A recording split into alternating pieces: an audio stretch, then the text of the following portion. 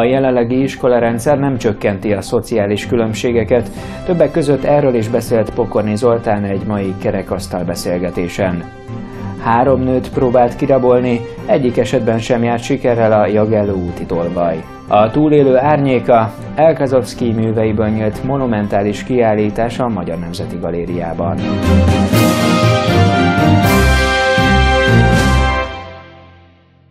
Híreinket látják, köszöntöm Önöket! A jelenlegi iskola rendszer nem csökkenti a szociális különbségeket, többek között erről is beszélt Pokorni Zoltán egy mai kerekasztal beszélgetésen.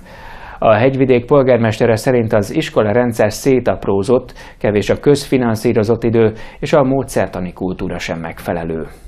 A magyar oktatási rendszerben évtizedek óta ugyanazok a problémák jelentkeznek, mondta egy csütörtöki konferencián Pokorné Zoltán a hegyvidék polgármestere, korábbi oktatási miniszter. Oktatás, mint intézményrendszer nem képes a, a családi determinációt áttörni, azt újra örökíti, néha sok meg is erősít. Ebben nem, nem, nem javult a helyzet. Ez a mai iskolarendszer legnagyobb problémája, Béli Pokorni Zoltán. Mint mondta, a tanár továbbképzések hatására az ezredforduló táján olyan plusz energiák szabadultak fel az oktatásban, amely a diákok teljesítményén is mérhető volt, ám ez mára alig érezte ki hatását. Az oktatási rendszer átalakításával kapcsolatban Pokorni Zoltán úgy fogalmazott, az állam azokon a településeken is magához húzta az iskolák fenntartását, ahol az nem volt indokolt. Szerintem azok a üzemméretek, amik tankerület formájában létrejöttek, azok jók.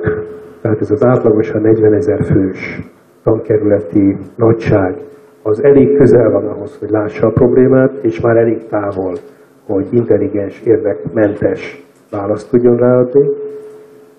Az iskolák nagy részében, 70-75%-ában nyugodtan vissza lehet adni az önkormányzatoknak, mert ott az önkormányzatok maguk hozzák ezt a üzemméretet.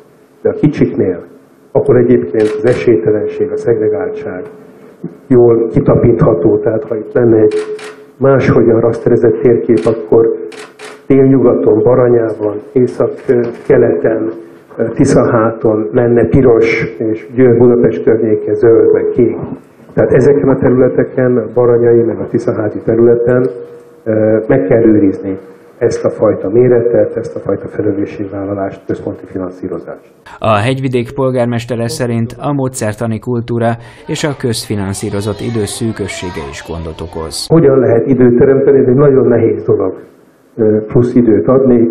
A napot meg kéne nyújtani, egész napos iskola jó formáját és nem rossz formáját kell kialakítani. A tanévet lehet végig gondolni, illetve a, a hosszát a képzésnek, hogy 8 év folyamos, vagy 9 év folyamos az alapiskola, mint nem egy európai országban.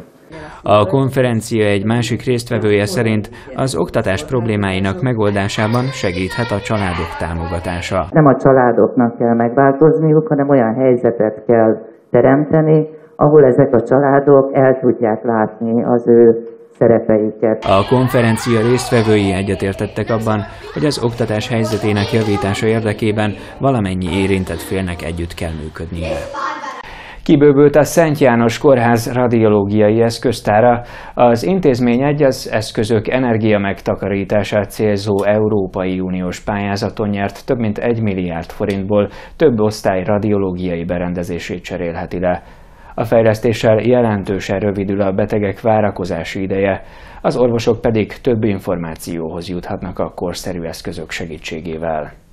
A traumatológosztályon van két átvilágító és felvevő eszközünk, két külön vizsgáló helységben.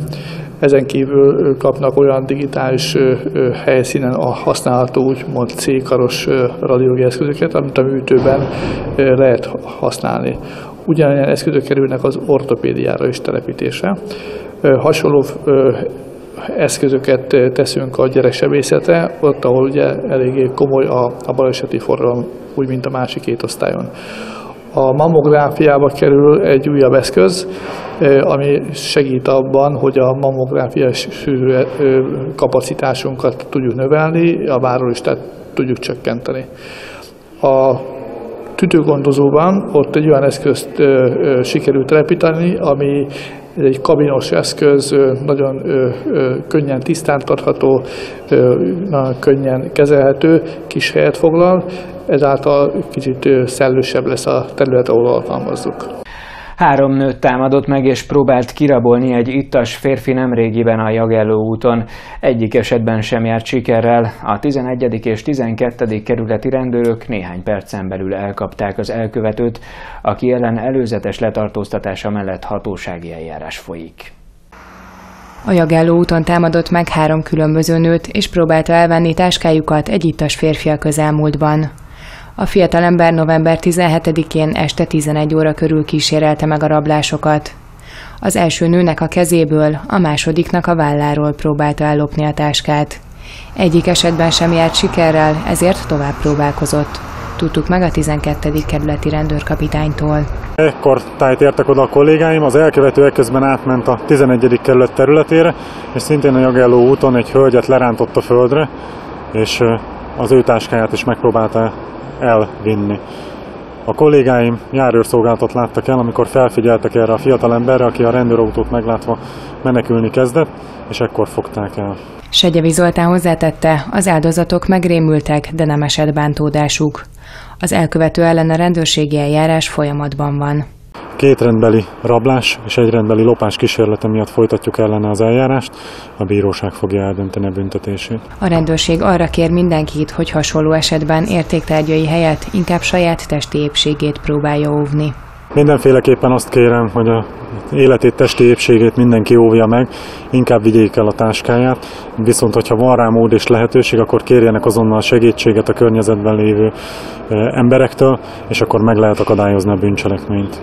A Jagelló úti tolvaj jelenleg előzetes letartóztatásban van.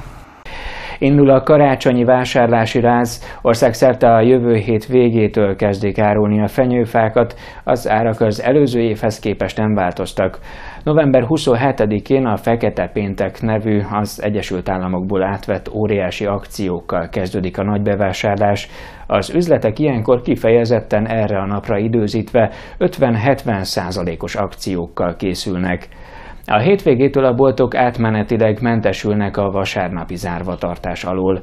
A világgazdaság információi szerint decemberben 5-6 százalékkal is bővülhet az áruházak forgalma. Januártól pedig akár 90 százalékos leértékelésekre is számítani lehet. A BKK is készül az ünnepekre. A közlekedési társaság közölte, az adventi hétvégéken a szokásosnál sűrűbben közlekedő, illetve nagyobb befogadó képességű járatokat indítanak.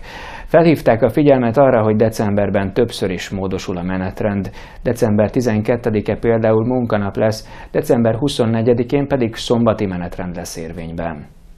Folytatódik a védőnői ményakrák szűrési program. A cél, hogy az érintett nők a lakóhelyükhöz közel az alapellátás keretében érhessék el a szűrővizsgálatot.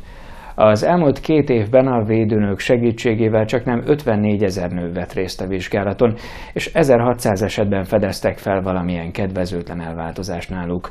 A cél, hogy 2018 végéig lehetőség szerint minden védőnő szerezze meg a népegészségügyi célú ményakrák szűrés végzéséhez szükséges képesítést.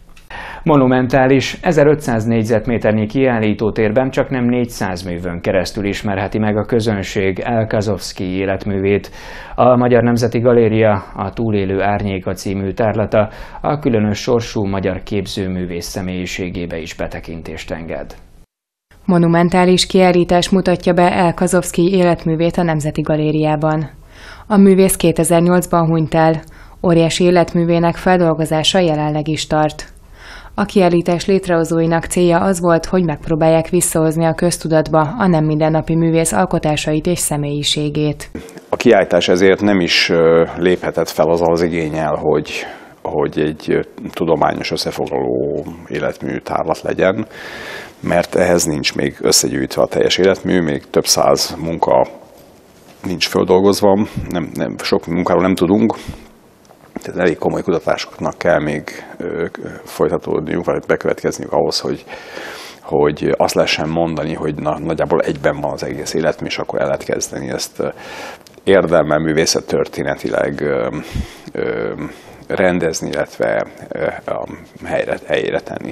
Elkazovszki a 20. század utolsó évtizedeinek és az ezredforduló korának egyik legeredetibb és legszuggesztívebb magyar képzőművésze volt. A Magyar Nemzeti Galéria és az Elkazovszki Alapítvány a Túlélő Árnyéka című kiállítással arra vállalkozott, hogy bemutassa az alkotó szellemi hagyatékát. A túlélő nyilván Kazovszkira magára vonatkozik, mert azt állítjuk, hogy ő túlélte alát.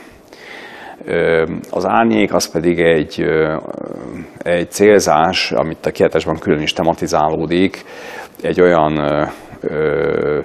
a művészet eredetéről szóló legendára, egy, egy régi mesére, amely, amely szerint a képek művészetének az eredete az, emlékezésre vezethető vissza. Közismert, hogy Elkazovszki egész életében rosszul érezte magát a bőrében, identitásválsággal küzdött. A benne élő kettősségből fakadó feszültség a művészetére is rányomta a bélyegét. Néhány olyan ö, ö, sajátosságát próbáltam meg kipreparálni a művészetnek, ami, ami ezzel, ezekkel a tulajdonságokkal bír. Az egyik ilyen érdekes dolog az, az például, hogy Elkazovszki meglehetősen fetisista természet volt ami azt jelenti, hogy szeretett mindenből, amit szeretett, mindenből szeretett bálványokat építeni, fétiseket, fétistárgyakat, amuletteket, volt benne egy nagyon erős gyűjtőszenvedély, használati tárgyai között is neki fontos, neki érdekes aspektusok szerint gyűjtötte a tárgyakat.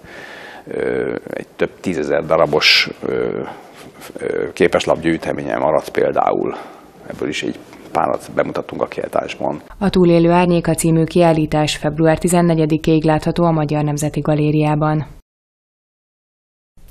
Híradónkat az interneten is megnézhetik honlapunkon a hegyvidék tv.hu-n. Köszönöm figyelmüket, viszontlátásra!